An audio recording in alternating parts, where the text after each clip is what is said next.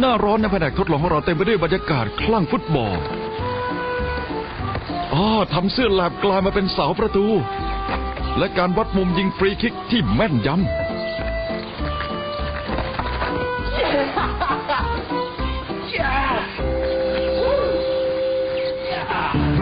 และแน่นอน ย่อมต้องมีพวกเรียญที่ชอบก่อกวน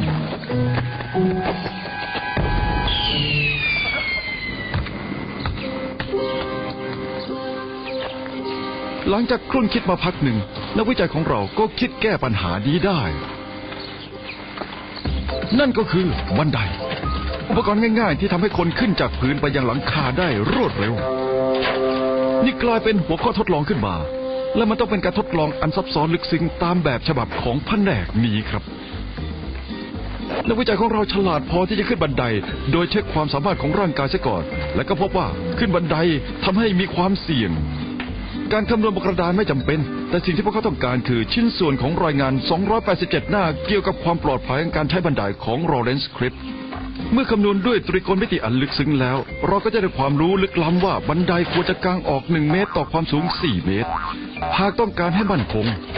ถ้าเพิ่มคนช่วยยึดบันไดเข้าไปอีก มันก็จะยิ่งมั่นคงมากขึ้น